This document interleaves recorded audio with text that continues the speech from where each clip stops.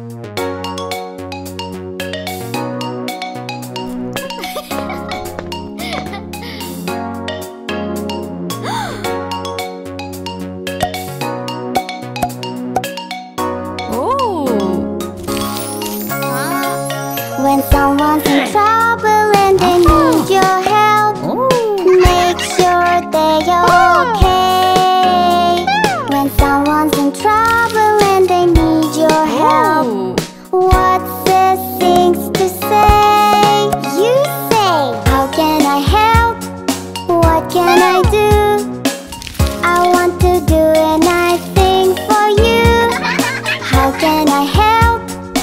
What can I do to make things better for you?